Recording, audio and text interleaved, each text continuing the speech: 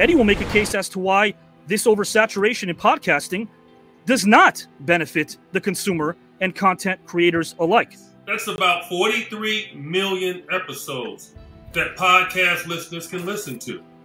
Now, a lot of them really don't have any schooling on the subject, no education. They can just be at home and create one. Uh, everything is on demand. That's the most positive thing about it whenever you need them. Stephen will make the case for why entertainers should embrace the fact that many in society view them as role models. Yes, it's oversaturated. When we listen to a podcast, gentlemen, we are seeking one or two things. We're seeking information or wanting to be entertained. As I was growing up, information came from three news channels, right? Uh, two local newspapers. Uh, combine that with a small circle of important people in my life my mom, my father figures, my brothers, my sisters, my aunts and uncles, etc. Throw in the teachers, throw in the pastors, even close friends. That was our circle.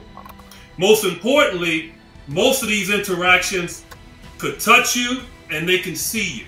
Well, I think the easiest answer to all of this is, in terms of entertainers, and by entertainers, Todd, what I'm going to define it as is basically actors is one category, actors, actresses, mm-hmm. Uh, singers, musicians, and also professional athletes. These seem to be the entertainers that society kind of gloms on as role models, if, if, if you would.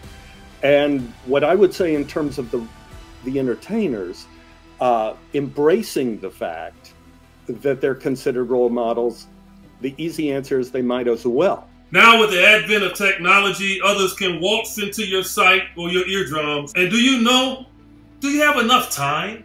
Because, kind of as Avi said, it's the way of the world. It's kind of if you don't do that, you're kind of like the guy going out to the ocean when it's high tide and saying, Wait, stop. We don't want the water now. Just give us a little time. Give us. No, that's crazy.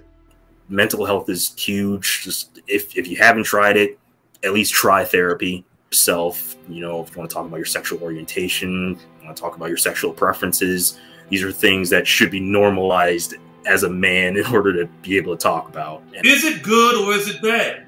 Well, see, that's the challenge. Let's get real. Average life expectancy in this country or in the world pretty much 79 years old. That's over 600,000 hours that we get. So if you want to break it down in a week, gentlemen, 168 hours in a week. 40 of those go towards work, 128 less. Go ahead. Okay. This is how out of it Superman is. He mm-hmm. works at a newspaper. The Daily Planet. Newspapers are done, man. It's all digital now. He You're right. Lois Lane anymore. He ain't gonna be seeing Perry White anymore. They're gonna be selling that Daily Planet building to some other to some other thing because newspapers are done. Lead to, you know, mountains and mountains of depression and suicide, and it just leads to a huge hole because we just simply can't slash don't want to talk about it. Your point that podcasts are bad for society when people control it by this disalarming, just by quitting. So please help me understand that. Guys, Eddie well, has another minute and a half on top of the three minutes he has left to respond to Brian.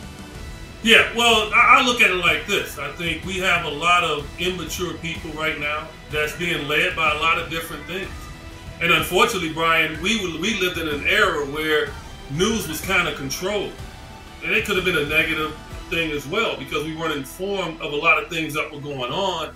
But I know for me, I was able to balance it more more easily when it was controlled a little bit, when it wasn't a thousand newscasts. These are things that should be normalized as a man in order to be able to talk about. And I think talking about stuff like that makes you even more of a man in my eyes. So that's all I gotta say about it. The high tide's gonna come. You're not going to be able to overcome at least what technology has created in, in terms of this. And I want to be clear, I am not making the case that entertainers should be role models. God, no. If anybody could hear the sound of my voice, I it's so hard being an entertainer. uh, performer, athlete, musician.